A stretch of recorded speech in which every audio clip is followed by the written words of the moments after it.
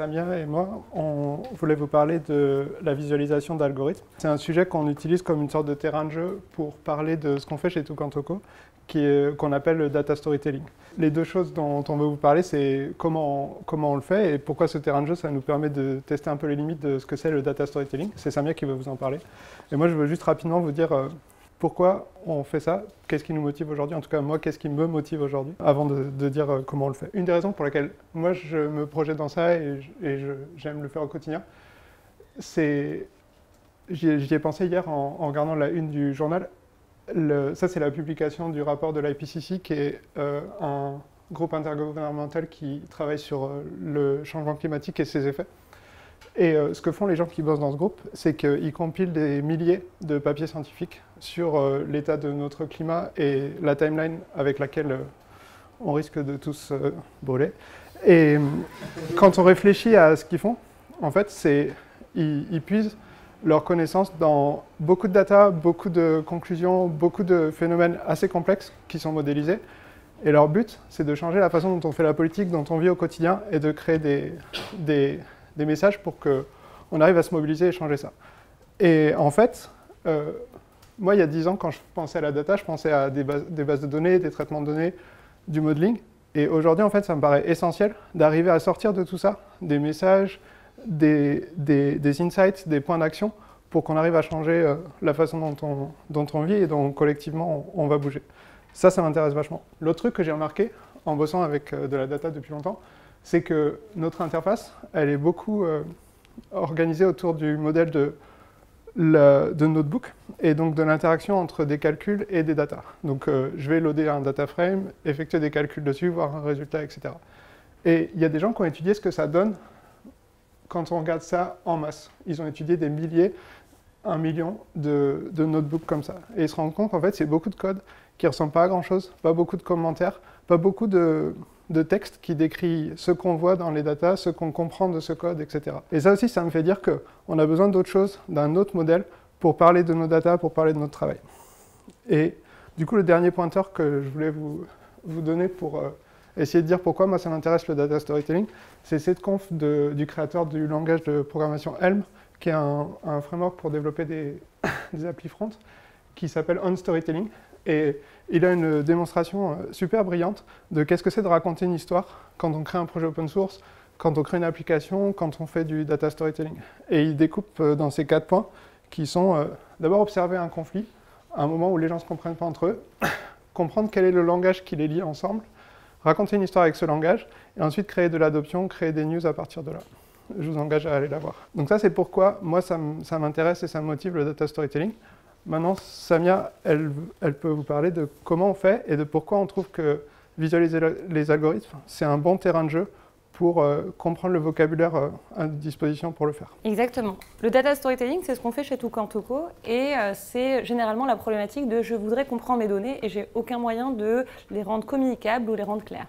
L'exercice qu'on va faire aujourd'hui, c'est autour des algorithmes. On, s'est dit, OK, on va prendre le plus simple des algorithmes, ne nous embêtons pas là-dessus on va, prendre les sorting algorithmes, donc il y en a plusieurs, et comment est-ce que je peux expliquer ça de manière claire, de manière compréhensible.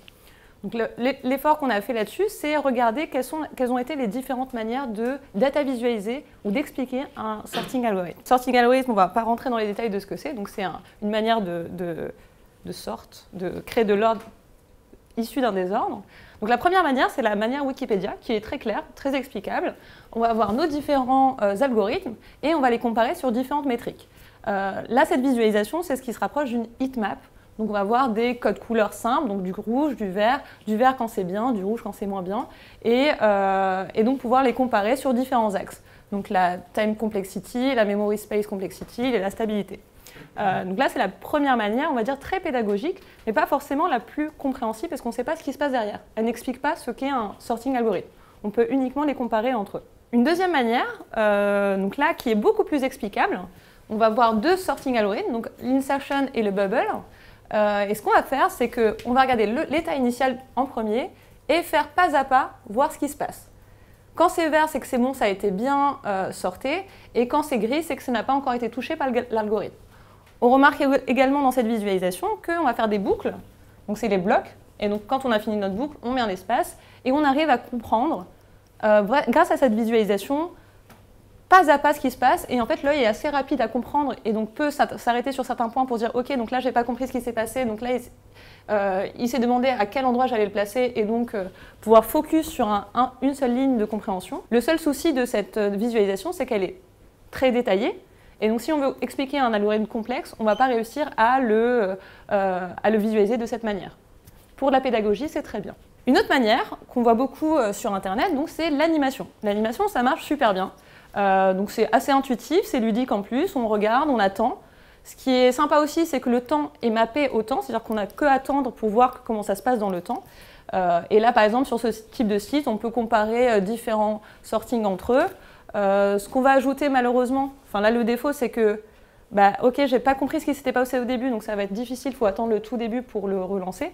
les avantages de ces, petits modules, c'est qu'on peut mettre des pauses, revenir, bien que on sait que avoir tout visualiser d'un coup, c'est beaucoup plus simple pour l'œil de chercher l'endroit où il n'a pas compris plutôt que d'utiliser la souris pour euh, regarder pas à pas à quel endroit je n'ai pas compris ce qui s'est passé. Donc ce qu'on disait, c'est hyper intuitif, sympa, mais euh, pour expliquer beaucoup plus finement, on va préférer d'autres visualisations. L'une des très bonnes visualisations, c'est Mike Bostock qui l'a trouvé. Euh, il a dit, OK, bah moi je vais comparer une animation, donc tout en haut, on va attendre ce qui se passe, donc c'est dans le temps, versus une, visualisation statique. Donc ce qu'il va faire, c'est qu'il va se dire, je vais mettre mes différents états, donc mes différentes loupes, donc ça va être à chaque fois une des lignes, le début jusqu'à la fin, en rouge les pivots de chacune des étapes de mon sorting, et en fait on arrive à voir un peu plus clairement ce qui se passe, même s'il y a beaucoup beaucoup d'informations, ça reste quand même beaucoup plus densifié parce que pour euh, euh, réorganiser cette euh, ligne-là, et si on voulait faire une, explication très détaillée, on aurait eu besoin de beaucoup de lignes. Et donc c'est l'un des meilleurs compromis, on va dire, qui allie l'animation, qui se voit dans le temps, et la densité de l'information. Une autre personne aussi qui a travaillé dessus, c'est Aldo Cortesi, qui était un peu plus artiste et qui s'est dit Ok, moi je vais prendre des lignes, elles sont de clair à plus foncé, et je vais vouloir comparer euh, l'efficacité des algorithmes entre eux. Et en fait, là, ce qu'on voit, c'est dans le temps, qu'est-ce qui se passe, donc quels sont les swaps qui peuvent se passer au fur et à mesure du temps. Euh, et là, par exemple, on peut répondre au type de question OK, quel est l'algorithme le plus efficace euh, qui, permet de, ranger les, éléments à 50% le plus rapidement possible Donc on va voir que lui est rapide à, cet endroit-là. Celui-ci, c'est à toute fin qu'on a organisé la moitié de, nos éléments. Celui-ci, c'est à la toute fin également. Et donc on va pouvoir les comparer sur des questions un peu plus précises, tout en gardant une vue générale sur la façon avec laquelle se comporte l'algorithme. Une dernière manière euh, qui nous permet nous, de dire euh, chez Tukantoko que ce qui est beau n'est pas forcément le plus clair, c'est euh, donc là via un arc-en-ciel qui est animé.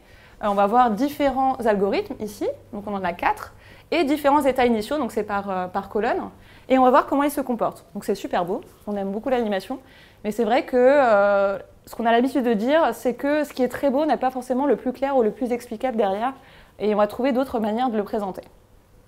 Donc voilà un peu ce qu'on a pu voir sur le sorting algorithme, comment il se comporte. On va peut-être attendre que ça se finisse.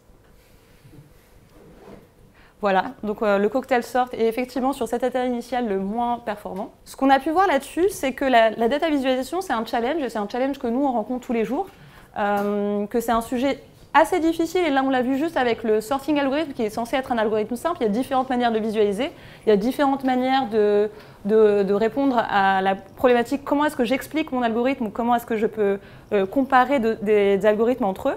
Euh, là on a vu qu'il y avait donc l'animation, les, les, visualisations qui étaient statiques, euh, très denses, d'autres qui étaient beaucoup plus détaillées. Donc, dépendant de l'objectif qu'on veut avoir en expliquant ou en faisant de la data visualisation, euh, donc si on veut comparer ou plutôt expliquer un algorithme, on va choisir différentes euh, manières de visualiser euh, l'objet. Sur la data visualisation, peut-être un peu plus largement que sur les algorithmes de tri, ouais. qu'est-ce qui te permet de dire que ça c'est une bonne ou une mauvaise data visualisation? C'est quoi les critères, les choses à prendre en compte? Alors la chose la plus importante quand on montre un, visuel, là c'est un écran par exemple Tokantoko, c'est alors je ne sais pas si c'est celui qui répond le mieux, mais c'est est-ce que le message est clair? Est-ce qu'il y a un seul message? Donc on veut toujours un écran ou une visualisation répond à un seul message. C'est est-ce que le message est tout de suite clair? Bon là ça y répond quand même, donc ça va. Euh, là on va voir tout de suite une information en rouge, donc en gros c'est en baisse. Donc c'est quelque chose qui ne va pas. Et après on va pouvoir rentrer plus finement dans l'analyse. et en fait là c'est la simulation du clic-bouton. C'est on va pouvoir zoomer et s'interroger sur ok ce bloc là ne va pas, qu'est-ce qui se passe dedans? Et donc la chose la plus importante, c'est que le message le plus important soit le plus clair possible. Il y a un seul message et il faut qu'il soit clair. Tous les, les data visualisations, elles ont déjà un message pré, préconçu, tu n'es pas en mode exploratoire ou quelque chose comme ça. Tu cherches à transmettre une information. Ouais. euh, Dans le data storytelling, c'est vraiment, on va raconter une histoire qui va aller du plus large au plus précis en racontant, en racontant vraiment l'histoire et chaque, chaque story, donc chaque écran va raconter un message. Effectivement. Alors que la data exploration, c'est un autre sujet. Moi, je trouve que, même j'irais plus loin, que, à mon avis, la visualisation, c'est, contradictoire à l'exploration, au sens où il y a tellement de, biais possibles dans une visualisation que c'est la dernière chose que tu veux faire quand tu cherches à explorer un domaine, et que pour ça, on a les statistiques. Et, que, et, je pense que, pour moi, une façon de détecter un discours qui est du bullshit, c'est un discours qui va me présenter un- une visualisation qui va me servir à explorer un domaine, en fait. Pour moi, la, visualisation, c'est la comparaison, c'est l'explication, mais c'est jamais l'exploration. Pour euh, réaliser ce genre de projet, quels sont les profils qu'on va avoir dans l'équipe euh, pour réaliser ça? On va avoir tout d'abord euh, bah, les développeurs qui vont développer le produit, qui nous permettent de faire euh, autant de, de types de, de visualisation. Il va y avoir euh, le chef de projet qui va être plutôt très business, qui va essayer de comprendre le sujet du client et l'amener à raconter une histoire, donc, bah, via différents designs, différents écrans pour raconter la meilleure histoire. Et enfin, il y a l'équipe data, donc, euh, où j'en fais partie, qui va donc euh, comprendre l'environnement de données du client pour essayer d'amener ces données de manière la plus propre au produit. Voilà. Mais c'est vrai que le travail de data storyteller, c'est le travail du chef de projet, qui est le, euh, poste de client success manager chez nous. Pourquoi on a besoin de visualiser un algorithme? C'est ça? Pour le data storytelling. Je pense qu'aujourd'hui, en gros, on a de plus en plus de problématiques de OK, on a fait un algorithme, OK, il a des résultats, on a besoin de l'expliquer pour pouvoir convaincre que le résultat est pertinent. Euh, un algorithme tout seul, c'est une black box, et de plus en plus, on commence à challenger ce qu'il y a derrière pour arriver à ces résultats-là, surtout quand c'est des décisions importantes. Et euh, c'est pour ça qu'aujourd'hui, de plus en plus, on, a ce sujet de transparence et d'explicabilité de- des algorithmes qu'on utilise.